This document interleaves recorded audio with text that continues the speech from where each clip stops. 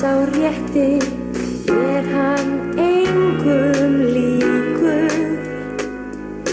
Ætli hann geti orðið nógu ríkur?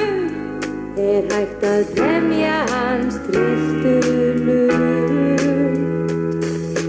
Tekur því að eyða á hann kennslustum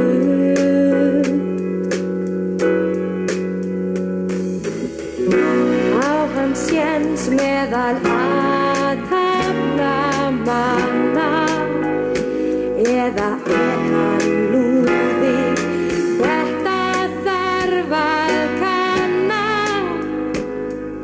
Kann hann að velja sér rétta vini Vandaða kurteisa heldri manna síni